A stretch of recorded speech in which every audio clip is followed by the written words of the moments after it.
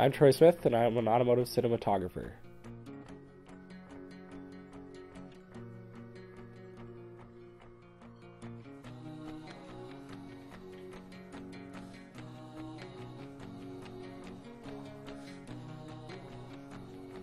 Well, cars, I've just always been into cars. And then photography, I took photography in sophomore year. What inspires me to shoot every day is uh, being able to share my passions with other people.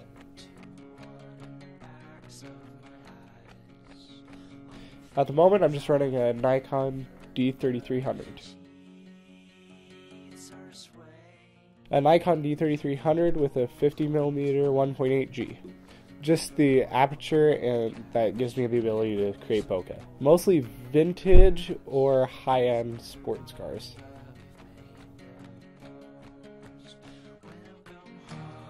Who I'm hoping to emulate would be Matt Farah with the smoking tire.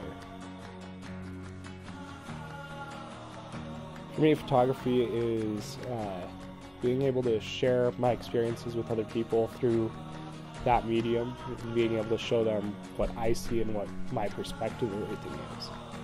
Because I look at things way differently than a lot of other people on account of ADHD and all that. So I see things that other people wouldn't necessarily notice.